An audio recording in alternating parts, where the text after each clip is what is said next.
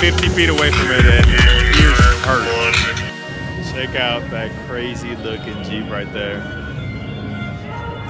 Dude. It's got eight wheels, lowrider wheels. They had that made custom adapters for that. that was crazy.